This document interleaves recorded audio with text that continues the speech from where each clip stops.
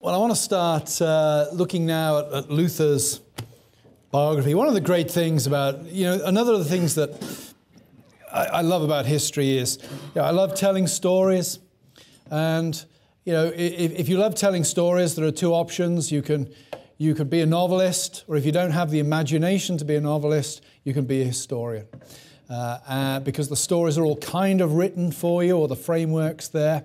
And Luther has a great story. Uh, one of the, the one of the interesting things, I suppose, about Luther is that he does talk about himself rather a lot, which is an obnoxious personal trait, but is extremely helpful to historians coming afterwards, trying to reconstruct your life. It's also, uh, Luther is, he lives an exciting life.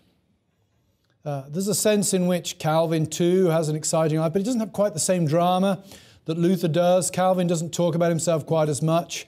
And Calvin, I think, was a more humorless character by and large. My first, uh, the first job I ever got in academia was at the University of Nottingham, and at the, at the interview process, I was asked but in one of the interviews, uh, if you're on a desert island, who would you rather be with, Calvin or Luther? And I said, well, probably bottom line is I'd have to go with Luther. He'd be more unbearable in some ways, but he'd certainly be a more entertaining raconteur and, more fun company.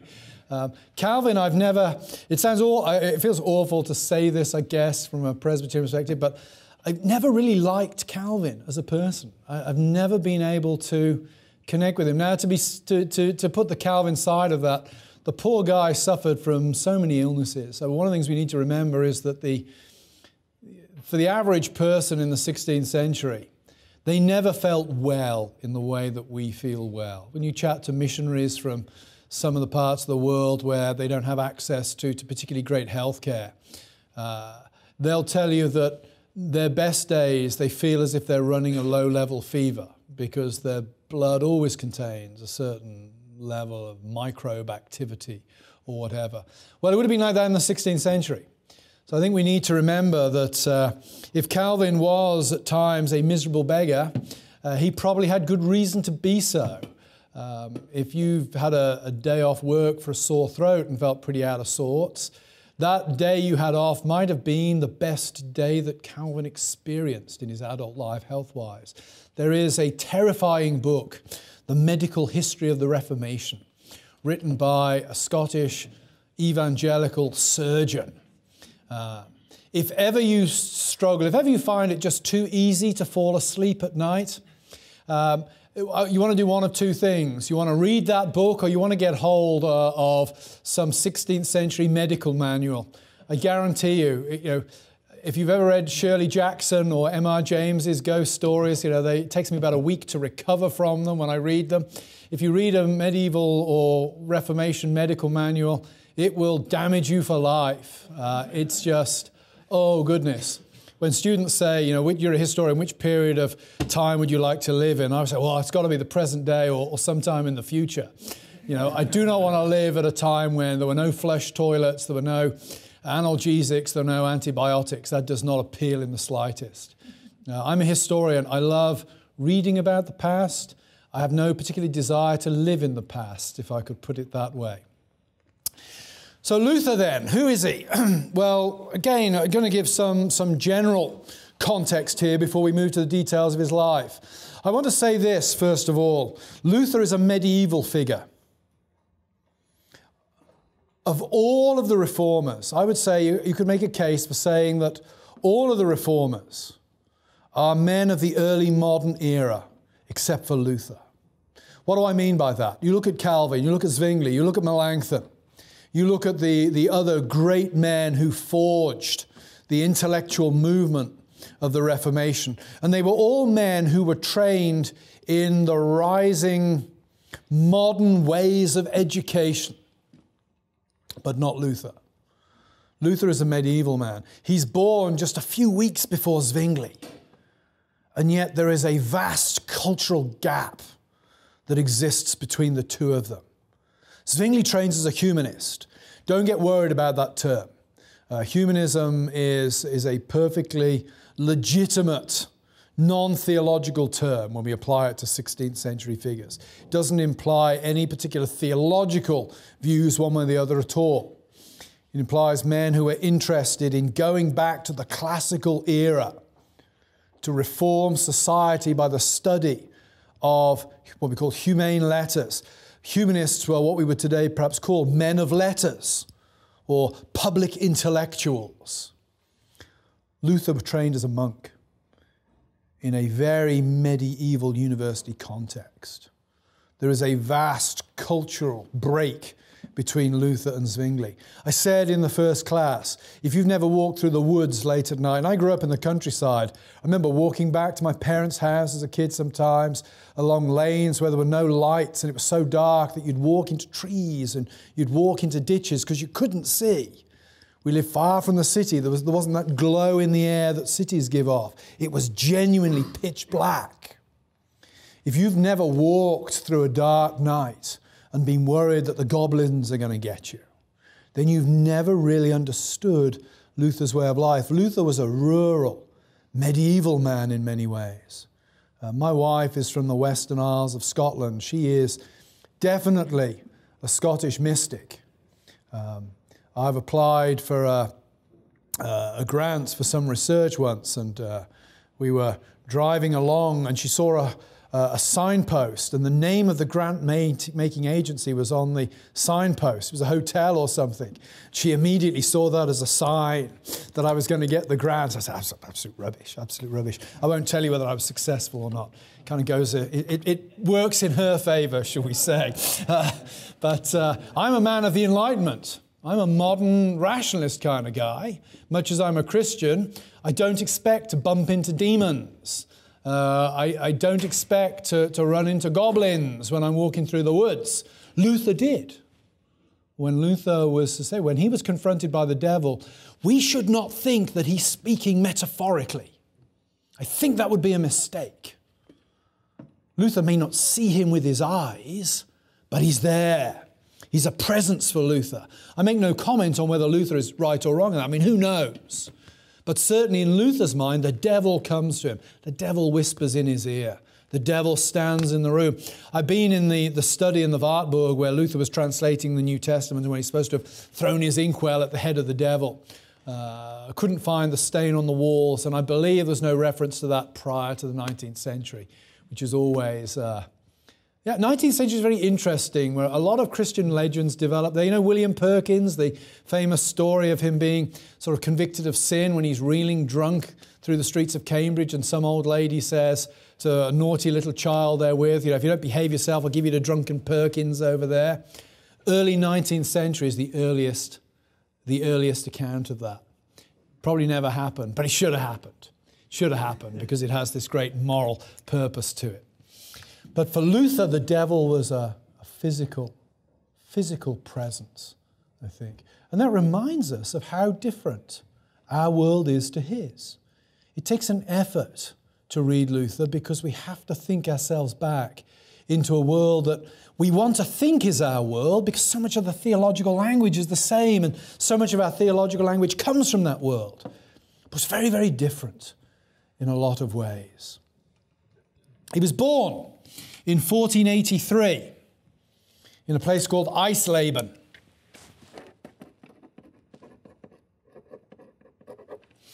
He will die there in 1546, humanly speaking, coincidentally, because he doesn't really have much to do with Eisleben during his life. He's actually visiting Eisleben in 1546 to try to sort out a political dispute between two of the local counts and he's taken ill while he's there, and he dies. He preaches his last sermon in Eisleben Church. It's interesting, the, uh, the last sermon he preaches, though some scholars think it may be the, the penultimate sermon he preaches, at the end of it, it was typical in the 16th century, the end of a sermon, you would often include a, a sort of appendix where you had to go about some contemporary uh, matter sermons in a, in a largely illiterate world, sermons were often the way in which people got their knowledge of current affairs. You couldn't read a newspaper. There were no newspapers. but you couldn't read anyway. So the way you came to understand how the world was and what was going on was that the preacher would often throw an appendix in at the end. And the last sermon that Luther preaches, there's an appendix that is just a fulmination against the evil and the wickedness of the Jews. Um, it's a terrible thing. A couple of years ago, uh, there was something online. Uh, people were asked to recommend their favorite historical sermon. And I noticed that R.C. Sproul recommended Luther's last sermon. I thought, oh gosh, uh, I hope it doesn't mean the appendix. You know, that would be that would be really bad. Um, It, it, was interesting for me when I when I visited Eisleben to stand at the. I actually got out, sneaked up into the pulpit. I shouldn't have done it, and it was against the rules. But man, it's Luther's pulpit. I got to get up there. Yeah, um, I don't believe in saints' relics except when they attach to the saints that I happen to regard uh, highly myself, of course. Uh, so I went up uh, in the pulpit, and I remember praying that. You know, I remember praying and reflecting. You know, I will never do a thousandth for the kingdom of God that Martin Luther did. Nobody Nobody in 500 years' time will be sitting in a seminar or anything I've written or thought. I'm just, I'm a footnote to a footnote to a footnote to a footnote. Uh, Luther is huge. And I remember praying that, that, that I knew I would never do anything like Luther did, but I did pray that the last sermon I ever preach would be more God honoring than the last sermon Luther preached. I mean, there's a lesson there that even, even the great men can go into glory uh, in, you know, having really blotted their copybook at the last minute. So Luther's born in Eisleben. Uh, in 1484, uh, he moves, his family, the family moved to Mansfeld.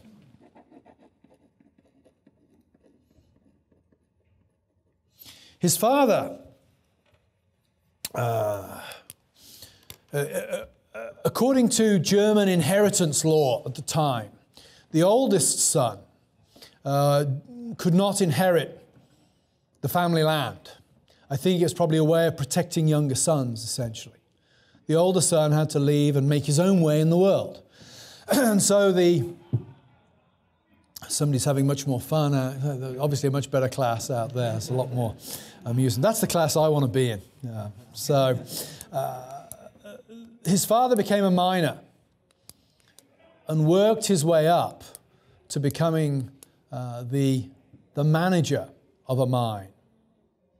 And that's interesting. I want us to stop and reflect for a moment on that. Uh, I've said that Luther's not a man of the modern age, but in some ways his family were, uh, did epitomize something of the times.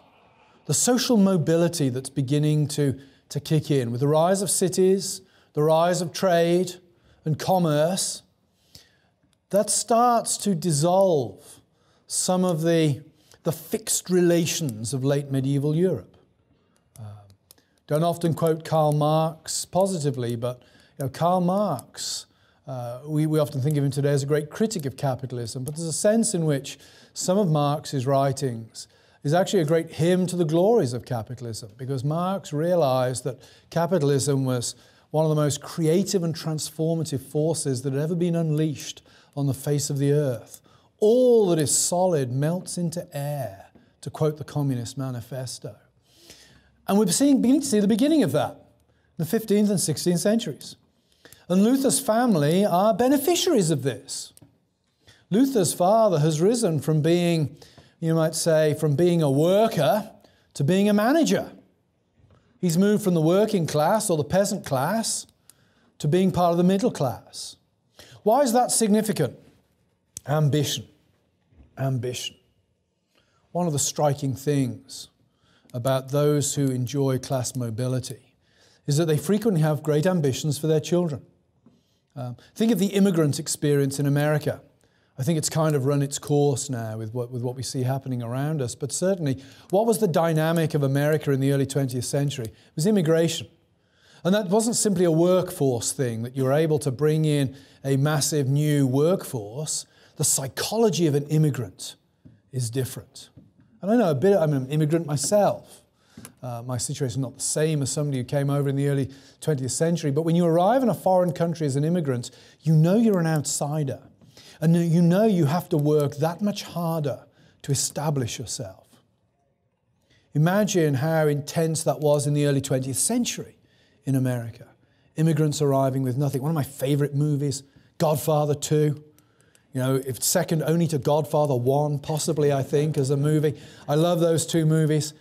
I watch them every 18 months or so. My wife rolls her eyes and I say, okay, we've got to have a Godfather Fest this weekend. Um, I learned everything I needed to know about being vice president at Westminster from watching the Godfather movies. But I had a colleague once said to me, I bet you sit and you watch those movies week after week, don't you? And I kind of said, I can't comment on that, you know. Uh, but you know, Godfather 2, you, you have the, the little Vito Corleone arrives, doesn't he? Arrives on Ellis Island, and you, and you get something of the feel of, wow, you, you, you understand something of the immigrant experience, why the Italians stuck together in these almost ghetto like situations, and how they worked hard and they protected each other. And you see the rising ambition. I think it's often, uh, I've noticed this at Westminster, many of the second generation Asian students we have really feel the pressure from their parents to succeed well in their adopted homeland. Luther, Luther's father, is a man of ambition, that his son will not work with his hands as he had to. His son will go to college. I was the first person in my family ever to go to college. My father left school at 16. From the moment I was able to understand English, I knew one thing was going to be true about my life. I was going to go to college. I was not going to have any choice in that. And I was going to go to as good a college as I could possibly get into because my father, as he would say to me, I didn't have your opportunities. You need, you need to use all the opportunities that you've been given. Same with Luther. So Luther, in 1501, matriculates at the University of Erfurt in Germany.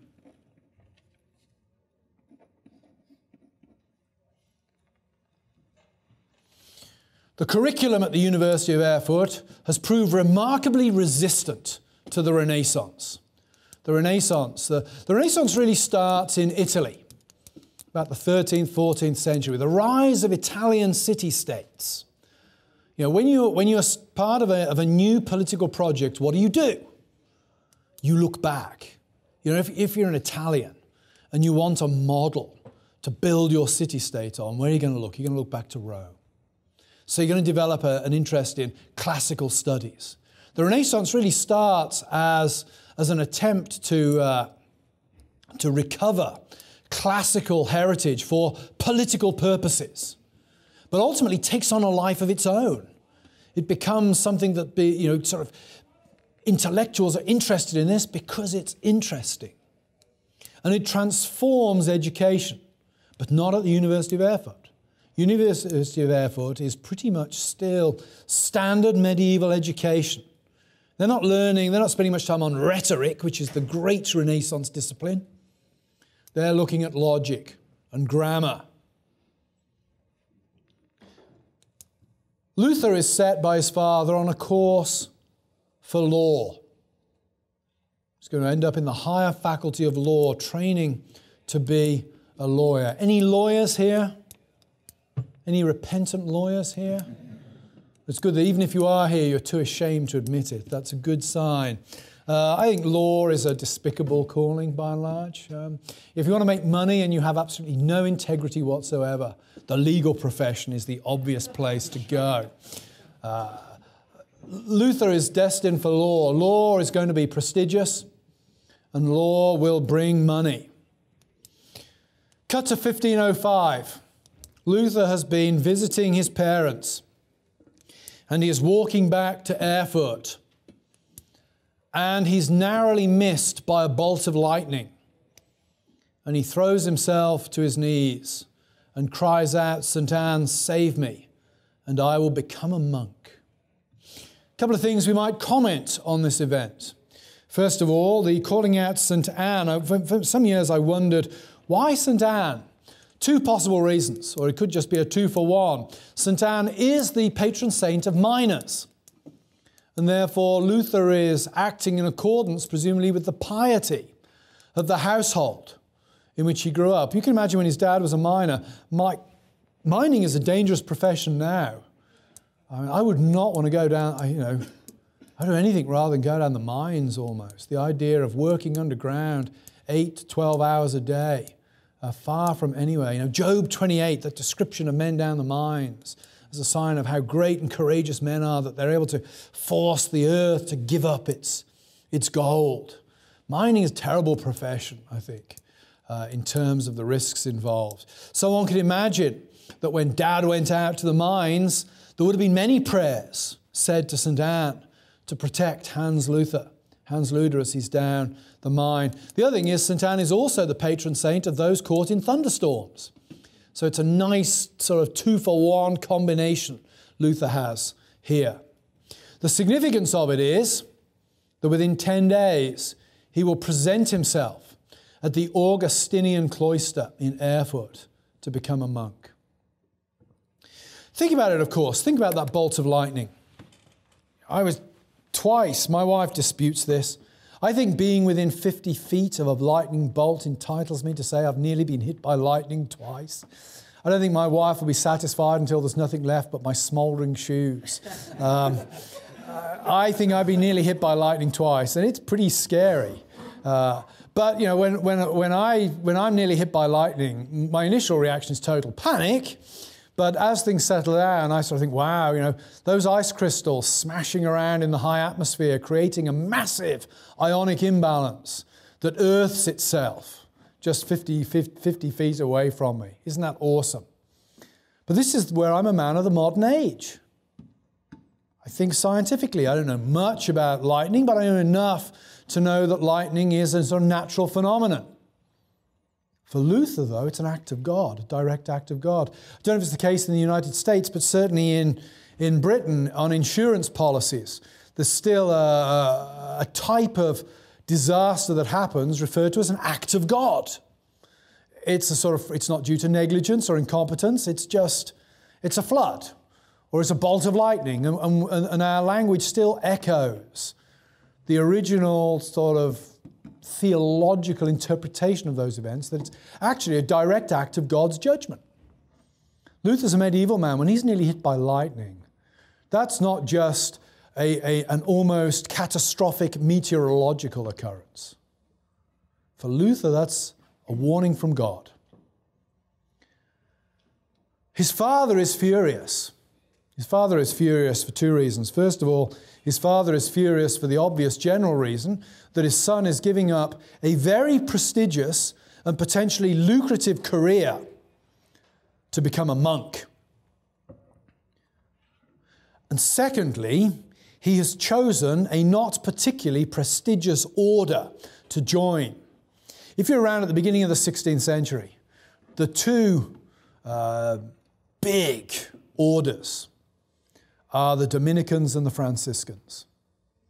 Uh, the, the orders who's really theologically they dominated the later Middle Ages. the Dominicans are the order of preachers. The Franciscans were the lesser brethren. Uh, the Dominicans' greatest theologian was Thomas Aquinas, who, for my money, I regard him as one of the three or four greatest theologians of the Western Church. Thomas Aquinas was their great intellect. I don't know about you, but I always sort of mark each year, I'm aware of who died at the age I'm now at and how much they'd achieved compared to me. Thomas Aquinas, I'm 49. Thomas Aquinas died at 49. And it's kind of, oh man, another one that I still haven't reshaped the entirety of Western thought. You know, I'm nearly 50. I remember when uh, I think Pascal died at 39, and when I hit 40, thinking, Man, I still haven't reshaped the whole existential frame for theology. And Pascal had done that and made massive scientific breakthroughs by the time he was 39. You know, there's that, that bit in uh, Wayne's World where they meet Alice Cooper and he asks them to hang around with him. And they say, Sure, we'll hang around with Alice Cooper. And then they fall onto the ground. We are not worthy. We're scum. That's how I feel when I look at these guys. I think, man, I'm not worthy. You know, I'm absolute scum compared to these people. Thomas Aquinas was the Alice Cooper, if you like, of medieval theology. I'm sure he would not have appreciated the analogy. But uh, Martin Luther, I've always regarded, by the way, as the Jimi Hendrix of Reformation theology. Uh, um, amazingly creative. Anyway, that's by the by. Where was I? What was I talking about? I joined the Augustinian order, hadn't he? That was the last thing we spoke of. The other thing, to, it's not a prestigious order, nor is it significant that it's called the Augustinian order. there is a, a, fair amount of truth. Like, like a lot of simple uh, sayings, it's kind of 90% true, which is good enough most of the time. You know, Newton's laws of gravity are like 90% true, I think. The statement of B.B. Warfield that the Reformation marks the triumph of Augustine's understanding of grace over his understanding of the church. Augustine is vitally important for the Reformation on both sides. Uh, Calvin will use that phrase, Augustinus totus noster. Augustine is completely ours. And the Catholics will fire back. The Reformation, you could write the history of the Reformation as an ongoing debate about the interpretation of Augustine's theology in the 16th century. And one has to say that both Catholics and Protestants uh, uh, draw positively from Augustine. He doesn't belong completely to either side. I've just read a book. I think this will be one of the, the best books coming out in the next 12 months on the relationship between uh, religious bodies and the state in North America. It's by Archbishop Charles Chaput, the Archbishop of Philadelphia. It's called Strangers in a Strange Land.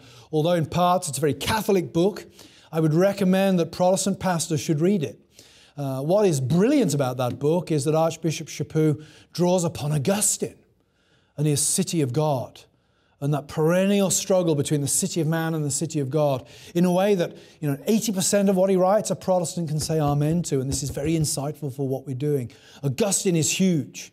Augustine is probably the single most important theologian since the apostle Paul. Because everybody who's anybody has to be in dialogue with him at some point. But the Augustinian order is not particularly Augustinian. What will happen is that Luther, when he moves to, to Wittenberg, will become part of an intriguing group at Wittenberg of men who are committed to studying the theology of Augustine. And it's this that will bring Luther to question, to modify, to appropriate, to extend certain aspects of his medieval education in a way that will lead to the Reformation. But we're not there yet. And he doesn't get it simply by joining the Augustinian order. So he joins the Augustinian order in 1505. His father's very distressed and upset. He's ordained in 1507. Very important point. One of the great problems, I think, uh, with systematic theologians is they tend to study theology in the abstract. Theology, theology as we have it, was never thought in the abstract. Theology is always thought by real people in real situations. That's not to reduce theology to praxis. It's not to be purely pragmatic, but it's to say that the lives we live, the bodies we inhabit, the people we mix with, shape how we think and shape how we react the demands made on us in everyday life shape how we think and shape how we react. By being ordained, Luther places himself in a pastoral position. Luther is not just going to be a university professor. He's not just going to be a monk. Luther's going to be a parish priest. And that means he's going to be taking confession. It means he's going to be helping, helping people one of the most moving parts, and I'm not a big Catholic sacramental confession person, but one of the most moving parts of Archbishop Chaput's book is when he talks about the confession. And he says, you know, people talk about the sexual revolution. They need to sit and hear the confessions of ordinary people whose lives have been ruined by the sexual licentiousness which is demanded of people today. That's the world Luther lives in. He's having to deal with real people. This is where the indulgence controversy will come from. Luther says a lot more radical things before the indulgence controversy. Nobody pays a blind bit of attention. What forces him into the real public open is the needs of his congregation relative to the indulgence sales that are going on in neighboring parishes. Luther is, in some ways, you know, one of my, another of my heroes from history, Lawrence of Arabia. Love, I read all the books I can on Lawrence of Arabia, the intellectual man of action. David Lean's movie, one of the greatest movies ever made. Lawrence of Arabia, probably the great. Uh, is he English? It's a bit, you know, is he Irish? He was British. Great, one of the greatest British men who ever lived. The intellectual man of action. That's Luther. The intellectual man of action. He's not just an academic, he's doing stuff. Again, I don't often quote Karl Marx, but I'm going to quote him again. You know, the purpose of philosophy, the philosophers have tried to uh, describe the world the purpose of philosophy is to change the world. Theology terminates always. It starts in real situations and it terminates in real situations. It can't be reduced to those situations. But Luther, as pastor, places him in a world that makes demands of him that wouldn't have been made of him if he was just an Augustinian monk. One of the first demands it makes of him is he has to celebrate Mass. And his father's there. And Luther has a kind of breakdown at Mass. It's, it's a traumatic moment for him. Think about the theology. Fourth Lateran Council, 1215, defines uh, transubstantiation. Now, again, we all know transubstantiation is wrong, but let's step back and let's understand what it says in order to understand how Luther thinks about what he's doing in 1507, in order to understand the pressure that weighs on him at this point. Transubstantiation is an attempt to, to, uh, to sort of explain the presence of Christ in the Lord's Supper by saying the substance of bread and wine changes into the substance of Christ's body and blood while the accidents remain the same. Substance and accidents, it's a kind of Aristotelian uh, distinction that the church is, is borrowing and using in a very non Aristotelian way. Aristotle believed the way, the way we know the world is we know the accidents of things. I know that this uh, lectern is a lectern because it looks like a lectern, feels like a lectern. If I cared to take a bite of it, it probably tastes like a lectern, behaves like a lectern. I know that the, the substance of the wood, etc., etc., that goes to make it up because I know the accidents. For Aristotle, accidents tell you about the underlying thing that's really there that makes the thing what it is. Church took this distinction between substance and accidents and used it in a way that Aristotle would never have recognized. Uh, what the church did is say, well, the substance of the bread and the wine changes into, it doesn't get vanished and get replaced by, it changes into the substance of the whole Christ, body and blood. And incidentally, uh, that doesn't mean that the blood is somehow extruded from the flesh so that the bread is flesh and the, and the wine is blood. The whole Christ is present in both. And that'll be quite important for uh, medieval development we'll talk about probably in the next uh, couple of classes. The whole Christ is present in both.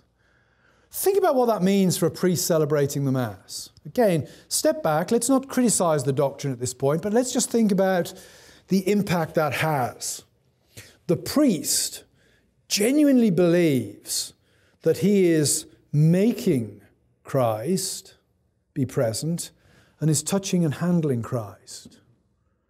That's powerful. That's powerful. If you believe it, that's very powerful. You know, and if you've, if you've got friends who are serious Catholics, they take the Mass very seriously because they genuinely believe that's what's taking place. It's not a trivial thing for them.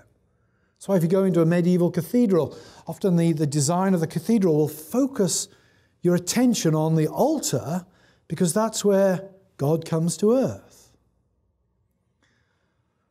For Luther, this is traumatic because he knows he's not worthy to touch and to handle God. And one of the things I think that Protestants have to, to grasp, first and foremost, about Luther is how sacramental his agonies of soul are that actually they're precipitated initially by sacramental duties, touching and handling God at the altar.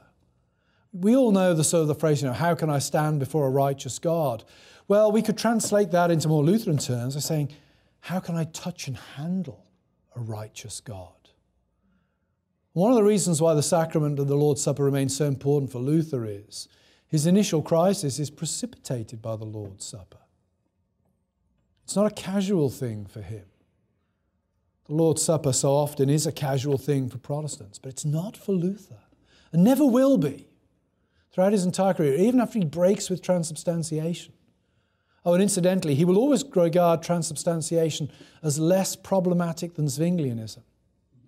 For Luther, transubstantiation is an error, not a heresy. Zwinglianism is a heresy. Heresy is damn your souls. Transubstantiation simply muck your theology around a bit. That's an important distinction, by the way. I think error and heresy, important to hold that in mind. Obviously, I think you're all in error on the doctrine of baptism, but I still respect you as Christian brothers, if I could put it that way. And I trust that you'll reciprocate the respect because I trust that you will think I am in error on baptism. Because if you don't, then you're not a true Baptist and you're not worth arguing with at that particular point. So, Luther has a kind of breakdown, kind of breakdown. Uh, 1508, he's transferred just temporarily at this point in time to the University of Wittenberg. University of Wittenberg is a new foundation. And again, let's think materially about this. New foundations. Uh, new found, when I was, you know, when I was a dean, the worst thing you have on faculty is the controversial maverick professor. That's the worst thing you can have. Um, it's what I've always aspired to be myself. But you know, once you're dean, you realise, no, that's not a bad thing. That's a bad thing to aspire to. When, when somebody's dean, you don't want those guys. But if you're a new foundation and you want to make a name for your foundation, the quickest way of doing it is to have the controversial maverick professor. When Luther emerges as a controversial maverick professor, that's not an entirely bad thing for the authorities at Wittenberg, because guess what? By 1525, Wittenberg is one of the most popular universities the, on the European continent because Luther's there. It's attracting students from all over the place. So the fact it's a new foundation, it was founded, was it 1501, I think. Bear that in mind. It's a young foundation wanting to recruit talent, and it's not going to be particularly worried when that new talent starts to create big waves. Luther will have some strange friends in very high places that will keep him alive, essentially. 1510, he's part of a small delegation. There's a, there's a struggle within the Augustinian order at this point between those who want a more strict observation uh, of the uh, order's laws and rules, and those who are more kind of open and relaxed about it. And in order to try to, to put this controversy to bed, a group go to Rome. How many of you here have been to Rome? Any been, been to Rome? Isn't it an amazing city? I, know, I don't want to be a Roman Catholic, but when I walked into St. Peter's Square, there's, man, if it wasn't wrong, I'd love to be, I'd love to belong to this. You know, this, this is, there is a massive weight about Rome. I turn 50 next year, and as a treat, I'm taking my wife to Italy for 10 days, and we're going to spend as, as long as we can in Rome because it's just a wonderful city. Um, I've got my, again, you won't fully approve of this, um, and I won't tell you if I've ever used it or not, but I have my Pope Benedict XVI shot glass in my glass cabinet at home. You can buy shot glasses with the Pope's uh, uh, face on them, a little blessing on them. How cool is that? You know, though I notice you have like the master shop here or something. You can buy, uh, you probably can't buy a John MacArthur shot glass, I'm guessing, but you can probably buy a kind of uh, caffeine based equivalent or something, I'm sure. So, uh, I have a feeling somebody out there watching on the internet is going to email me to complain about that comment. I really do. I say that out of affection for Dr. MacArthur, not as not not not to, to criticize him. Um, Rome is it's an amazing city because there's so much history there. Uh, there is a tour you take you can take in Philadelphia. Uh, the Independence Tour. And on the bus, at some point in a hushed tone, the tour guide will say to you, and there are, there, there are, there's a building in this street that's been continually occupied since 1742 or something like that. You know, and if you're British, you're sitting there thinking, man, well, I was sitting there thinking, when I taught at the University of Aberdeen, my office was built in 1496, you know. Um, I, I, used to tell that until somebody in class, uh, I had an Egyptian student once who put up his hand and said, I come from Cairo and we have streets in Cairo that have been continually occupied since 3000 BC. Which point I realized, yeah, Britain is kind of fairly new on the block as well in the grand scheme of things. But Rome has, this, has a huge amount of history. And history really does carry a lot of weight with it. And I found going to Rome quite a remark. It's why I want to go back with my wife. I've visited a lot of cities. The only city I've ever visited where I thought I must take my wife is Rome. And there's just everywhere you go. You go through the Vatican Museum. Every corner you turn, there's a painting that you recognize because you saw it in a book when you were at school or you've seen it on some documentary. Uh, there's, there is more history concentrated into a few square miles in Vatican City than I think you find almost anywhere else on the face of the earth. Luther goes there in 1510. And although, of course, the Renaissance, the, you know, St. Peter's is being built at that point, the Sistine Chapel is being built. By the way, you, you know, you walk into a, you, you walk into St. Peter's, and the first thing that hits you is the Pietà uh, by Michelangelo, one of his Pietà. You know, the Christ come down from the cross, being cradled in the arms of, of his mother Mary. Uh, and you know, set aside whatever you think about images of Christ. And for one, I do think the incarnation has to change some way our understanding of, of the second commandment. But whatever you think about images of Christ, that is a work of outstanding artistic beauty. And then you look at the dates, and Michelangelo, I think, was 23 when he carved it. And he lived till he was in his late 70s or early 80s. Um, you know, try to think about what were you doing when you were 23? You probably weren't carving the equivalent of the Pietà. That is, that is humbling. That is humbling when you see what these.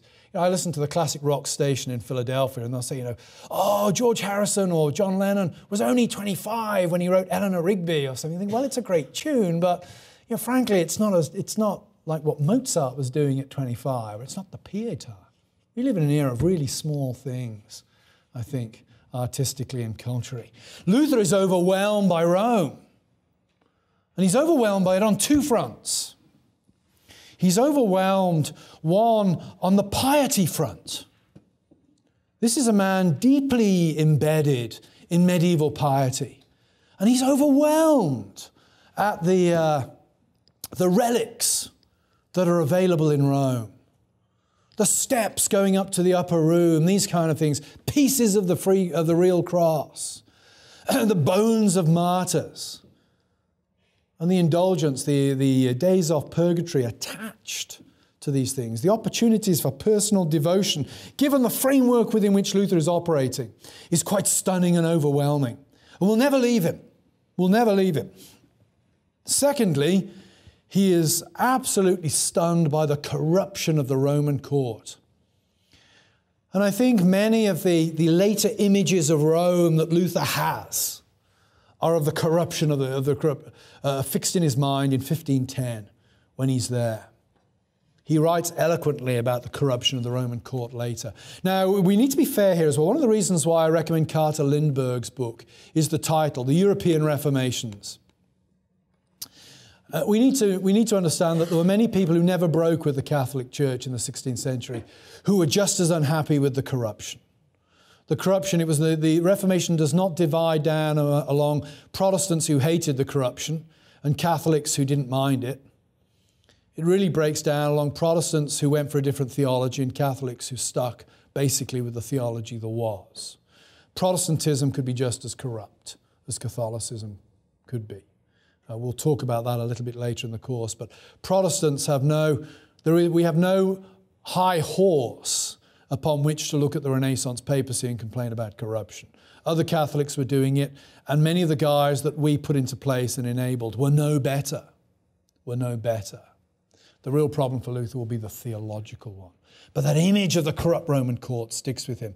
Some years later, he will be writing uh, one of his most powerful uh, images of 1520 is he writes about the, uh, the Roman court and he says, I see them there in Rome now, drinking their fine Italian wines and laughing about the stupid beer drinking Germans whose tax money has paid for it all.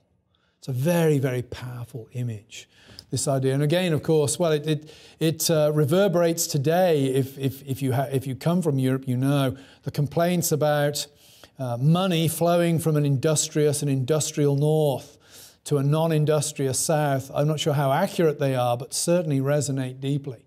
Uh, if you're born uh, north of Paris uh, in Europe, you tend to have a sneaking suspicion that everybody born south of Paris knocks off work at about noon and then just sits outside a cafe philosophizing and watching the girls go by for the next eight or ten hours until you go to sleep and then wake up and repeat it the day after.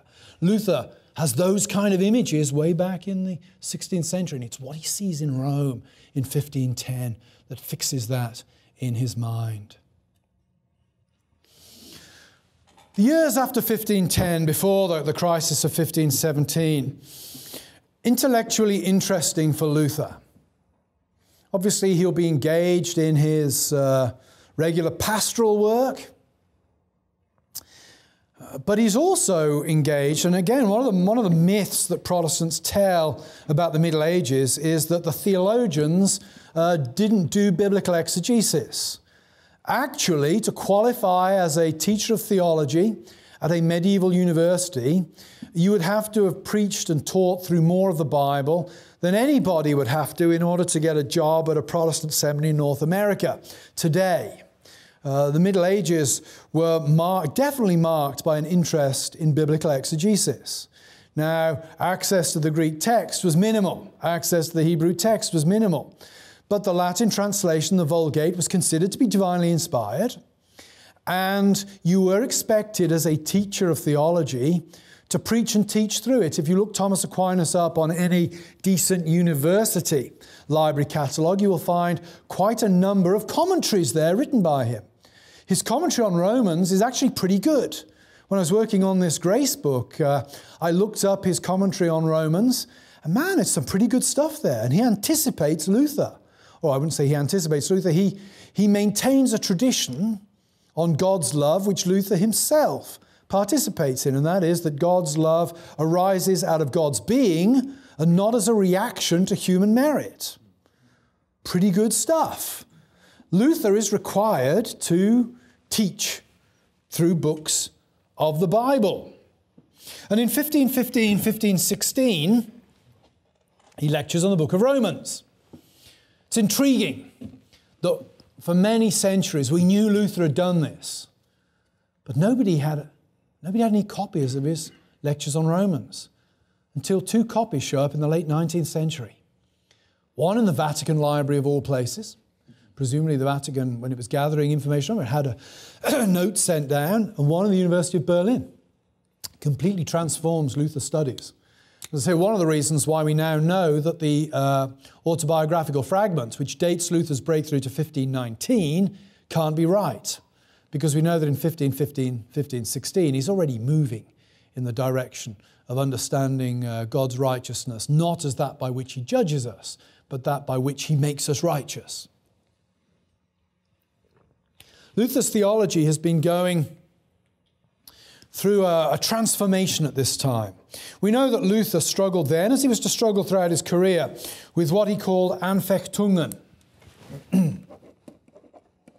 Anfechtungen is a wonderful German word that is essentially untranslatable into English. Uh, the best we can come up with, angst. Well, angst isn't much good because it's just another German word. Uh, it's a bit like me when I was doing classics. There were certain words in, in Greek and Latin that were kind of rude and naughty. And I, had a, I was using a Victorian Latin dictionary, and you'd look up a word in Latin, and it would give you the meaning in Greek. So you'd go and look up the word in your Greek dictionary and it would give you the word in Latin and it wouldn't actually tell you what it meant, which of course had the effect of making you very intrigued about what the word must, must mean. Anfechtungen is, it really means a sort of a feeling of dread, a feeling of anxiety precipitated by a fear that something bad is going to happen. And for Luther, it's intimately connected, Anfechtungen were always intimately connected to uh, whether God would pardon him. Would God be gracious to him because of all of his sin? And Luther had learned his theology in the tradition of a man called Gabriel Biel. Gabriel Biel was a 15th century theologian. He wrote a major work called The Canon of the Mass. Uh, which those in Luther's tradition were required to study and to lecture upon.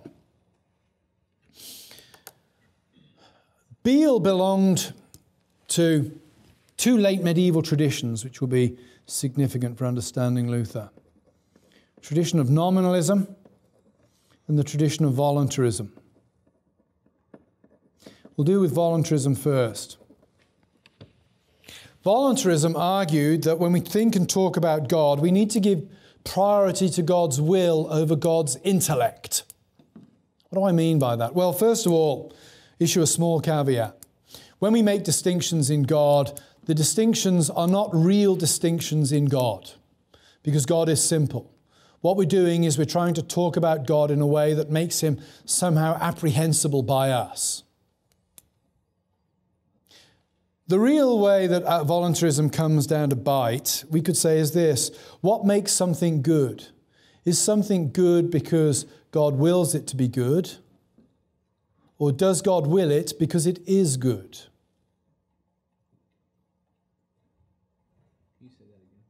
Is something good because, because God wills it? Or does God will it because it is good? Take an extreme example murder. Is murder wrong because it is an absolute contradiction of God's nature for his creatures to take life? Or is murder wrong because God has decided that's the way the world will be? Now, we tend to read that distinction, I guess, as implying something about God, whereas actually what the late medievals are trying to do is emphasize the mysteriousness of God. What's really at stake here is the late medieval saying you can't simply look at the world around you and decide things about how God must be. Because God is, in a fundamental way, unknowable. We can only know Him as He's cho- chosen to make Himself known to us. And we don't know if He could have chosen to make Himself known in another way. So it's a way of protecting, if you like, the mysteriousness of God. It has what I would call a good theological motive behind it. It's not really making God arbitrary, it's making God mysterious.